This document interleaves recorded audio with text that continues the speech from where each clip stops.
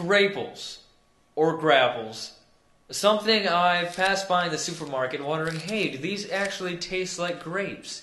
It was intriguing but too expensive just to casually buy until now. Greetings. I just went to the grocery store and I bought graples.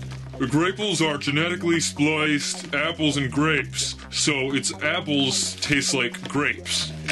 I got this particular package because it has an entertaining ape on the front.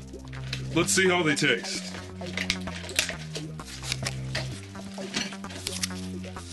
Now, it's kind of wrinkly. It's, uh, whatever. Let's try it out.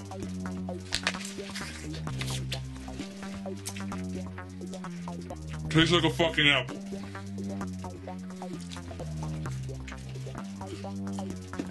Uh, Grapables get uh, 2 out of 5.